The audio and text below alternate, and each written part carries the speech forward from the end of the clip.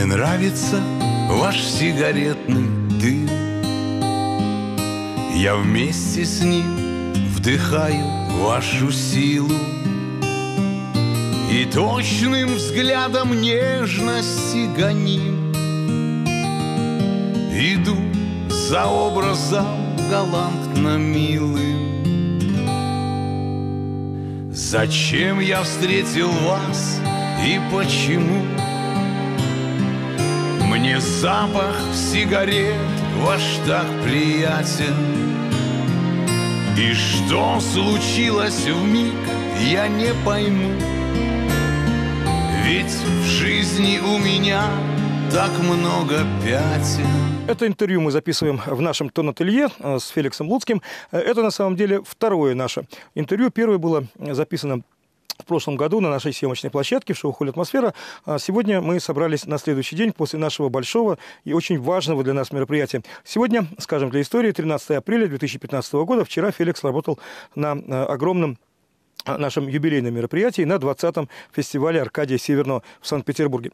Я могу сказать, что это действительно честные 20 лет.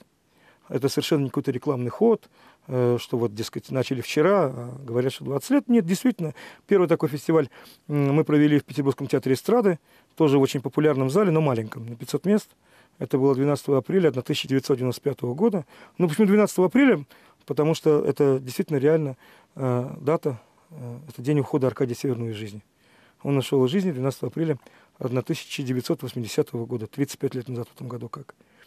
И когда мы решили делать такой сценический фестиваль, мы специально взяли театр эстрады именно в тот день.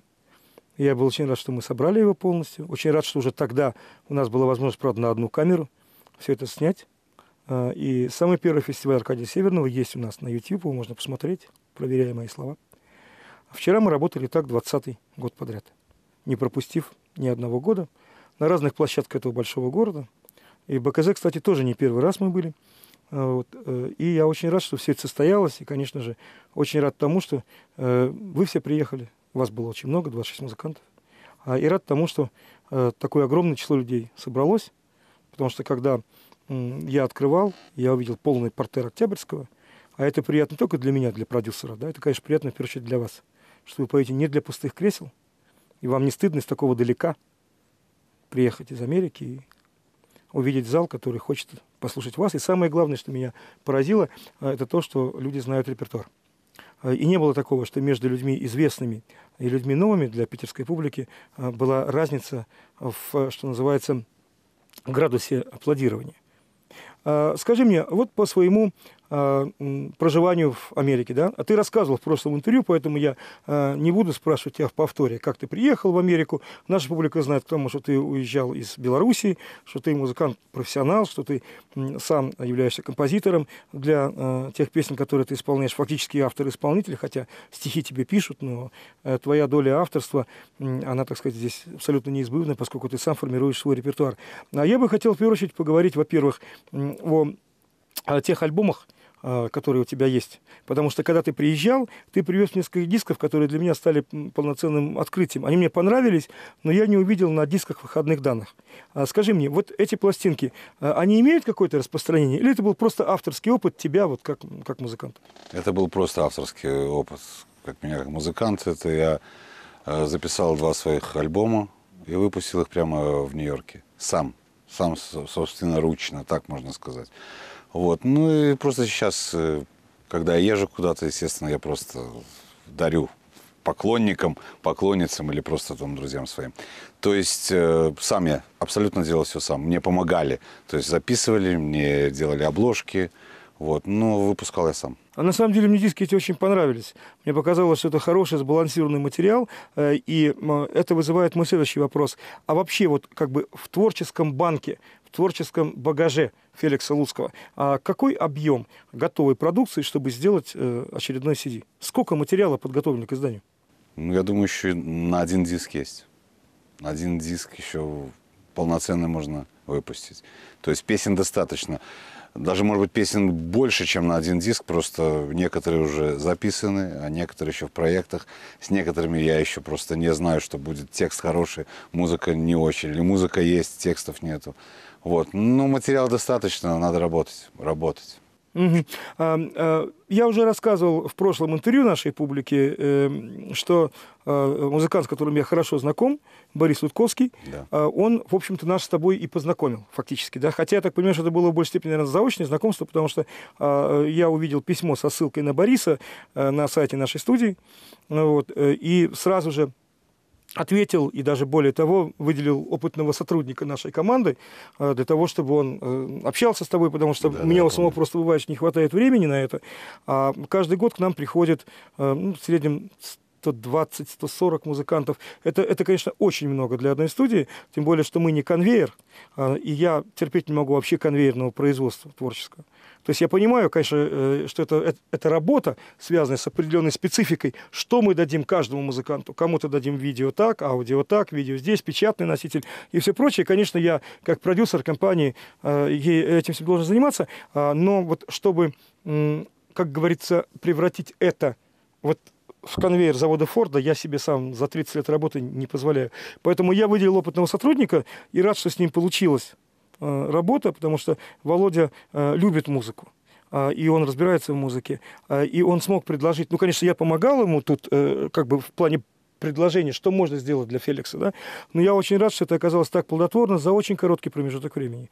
И очень рад, что песни узнали, и очень надеюсь на то, почему я спрашиваю про CD, что будет продолжение, которое здесь для нас абсолютно логично. Ведь Инесса Дуншевская, которая познакомилась с нами несколько позже, чем ты, а, она даже часть своих песен, невзирая на своих аранжировщиков, там в Америке у вас, да, записала здесь. Кстати, вот в этом ателье она пела, здесь мы сводили часть ее вещей, а, и выпустили ее альбом а, в декабре прошлого года. И этот альбом оказался очень хорошим, и я был э, очень рад, когда она мне сказала о том, что этот альбом проложил ей дорогу к новой аудитории, что узнав, что это появилось, Э, и узнав, что эти диски есть, и они появились в этой агрегации, и в этой, э, люди стали к ней обращаться, люди стали ее узнавать. Мне почему-то подумалось, что э, при том, что у тебя такой материал есть даже в большем объеме, чем был у нее, при запуске ее музыкального проекта, да, мы просто должны тебе помочь и сделать обязательно издание традиционного физического носителя, который будет по-новому освещать то, что ты уже сделал. Он будет как бы хорошей иллюстрацией к тому, что стало уже известно людям. Э, ответь мне вот на какой вопрос еще. Э, это уже получилось как легенда, но я всегда хочу, чтобы эта легенда как бы подтверждалась э, участниками легенды. Мне публика в эфире не поверила первоначально, когда я сказал, что некоторое время назад в наших съемках вдруг приехавшие из разных мест русские американцы, то есть Инесса из Чикаго, ты из Нью-Йорка, подружились, не были знакомы вообще до этого, и более того, подружились плодотворно, потому что появилось несколько прекрасных дуэтов, таких в меру пафосных, как между Чикаго и Нью-Йорком, которые мы вчера записали на видео. И э, более того, некоторые песни были созданы на твою музыку как композитора. Вот расскажи, как вы встретились у нас, потому что я мог только результат лицезреть. И как вообще пришла такая мысль, потому что э, мне люди первоначально не поверили что как такое, может быть, они, наверное, давно были знакомы и специально ехали в эту студию. А я говорю, да нет же, ну, ну вот легенда. Но легенда правдивая. Вот скажи мне, подтверди мои слова, вот как это получилось? Да, леген... легенда правдивая, да. Это были съемки ночного такси.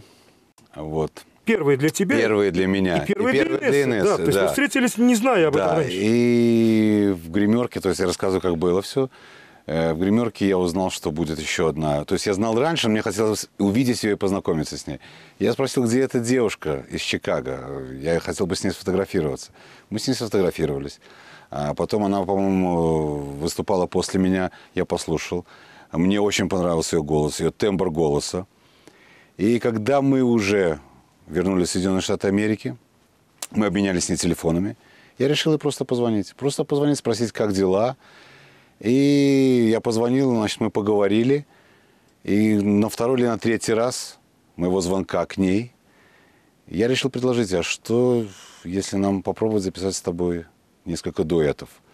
Вот. И прислал ей несколько песен, на что она сказала, что нет, это, к сожалению, не мое. И я долго мучился, потому что мне хотелось бы, мне хотелось бы э, переубедить ее, что все-таки это будет неплохо. Я связался со своей поэтессой из Беларуси, рассказал, какую тему я хочу, потому что это замысел, это был мой, что она в Чикаго, я в Нью-Йорке. Вот.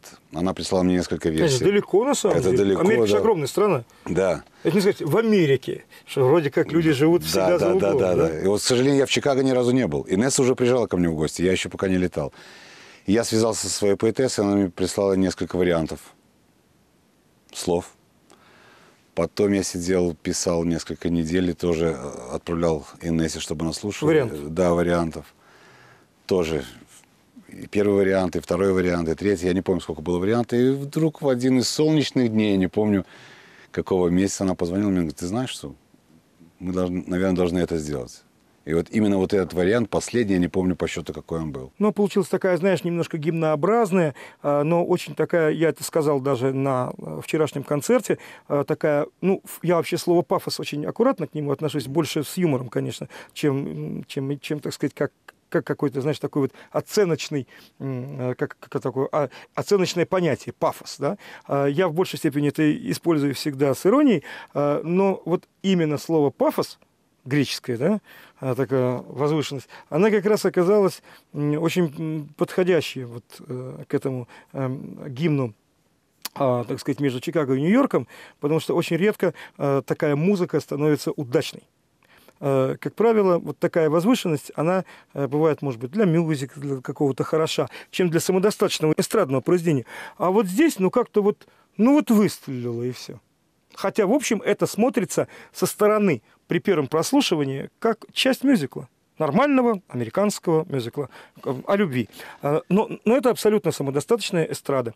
Э, И, на мой взгляд, очень удачная. Мне показалось, что дорога этой песни при дальнейшем ее, так сказать, познании публикой по обе стороны океана в ресторан. Не, в хорошем смысле слова, что это, как мне показалось, от Бога созданный ресторанный хит. Именно благодаря не только стихам, очень красивым и благородным, о дружбе значит, двух людей, которые далеко, а именно, конечно, благодаря твоей работе как композитора. Потому что это прекрасная композиторская работа в стилистике Уэбера, такая вот именно вот как бы мюзикловая, вот, э, и, если так можно сказать. И, и я просто вот эту песню как-то признал как музыкальный продюсер сразу, когда мне э, моя супруга показала демо-версию, которую ты прислал. Сказала, Спасибо, я не помню. знаю, что у них получится, сказал я дальше, эм, потому что э, сложно сделать вот так. Но это возвышенность, которая определяет уже и определенные впитанные тобой уже знания про американскую эстрадную музыку, потому что хоть ты человек годами, это для композитора, ну, молодой, как и все мы, там, тебе до 50, э, это для современного музыканта это не, не возраст, естественно. Вот это как раз возраст такого творческого расцвета, там, вбирания материала, вот, потому что 20-летние вряд ли могут э, здесь сделать больше, чем 40-летние, э, но вот именно американская традиция и какая-то традиция вот нашей, славянской, восточноевропейской, она переплавляется в этом плавильном котле, э, и получается то, что продолжает из русских музыкантов и композиторов, и аранжировщиков, кстати, тоже, хотя аранжировщик более такая прикладная специальность, традицию, которую правильно завел тот же самый Миша Шафутинский, хотя Миша завел ее четверть века назад, или Толя Могилевский потому что они пытались, э, я вот с Дружным Шафутинским очень много лет, он давал мне э, интервью часами, которые можно найти в интернете, когда мы говорили, когда он стал возвращаться в Россию, то есть это были вот э, такие, ну, большие интервью, там, 120 минут, там, 140 минут. Он рассказал о своей жизни в Америке, как, как, как он уезжал, и мне очень нравится, что ты абсолютно не ориентируясь на него, продолжаешь очень важную профессиональную традицию. Ты тоже участвуешь в плавильном котле нашей, русской, восточноевропейской музыки, которая, приехав на территорию колоссального э, медиа-пространства Америки, где каждая музыка находит себе место. Музыка Востока, музыка англоязычная. Э, и вот ты участвуешь в этом плавильном котле своими клавирами. Я считаю, что вчерашний концерт, он знаковый и для нашей студии, показавший э, такое количество новых людей таком гигантском, это, это самый большой зал Санкт-Петербурга, больше только стадионы.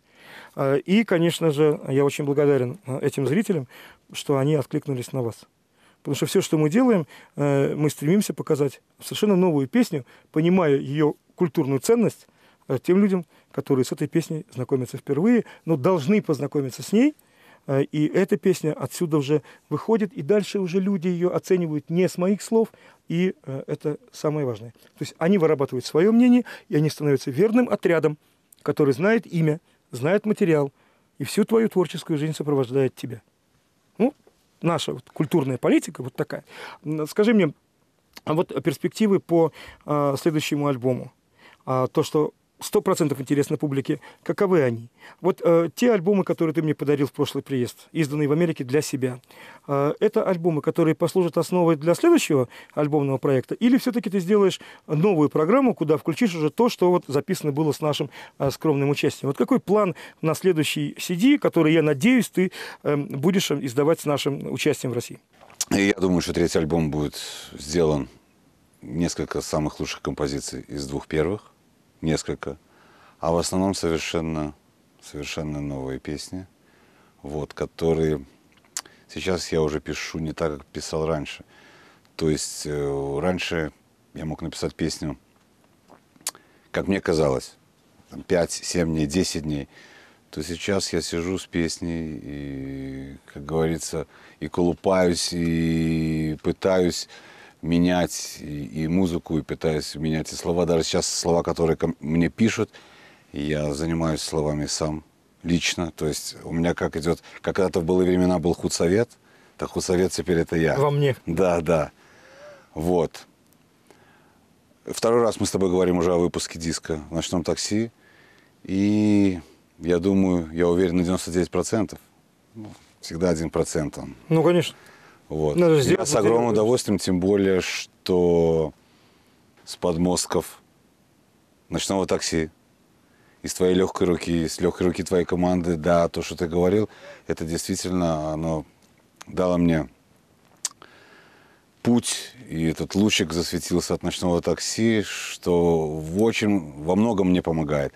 И песня та, которую ты признал э, первой, ну, я имею в виду, что ты сказал, что Э, эта песня уже как песня, она этом и слова, и музыка, и что это какой-то маленький как...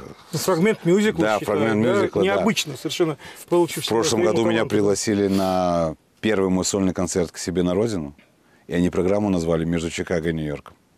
Значит, э, мой взгляд совпал с продюсерами, которые встречали да, тебя. Вот чему я говорю. Чему я очень рад, потому что я здесь ни с кем не советовался, кроме самого себя. Третий альбом будет в ночном такси.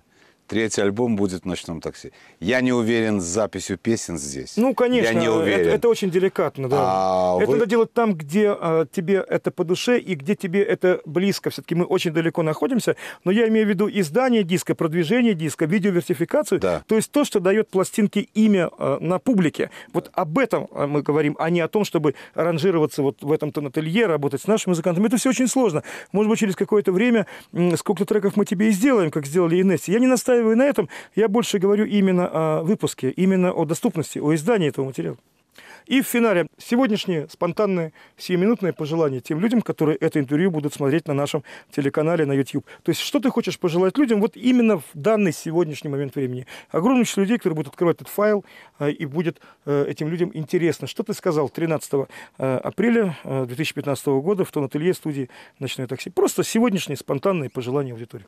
Дорогие друзья, Огромное вам спасибо за поддержку, за внимание, за то, что вы слушаете, пытаетесь слушать и понять песни, которые я исполняю.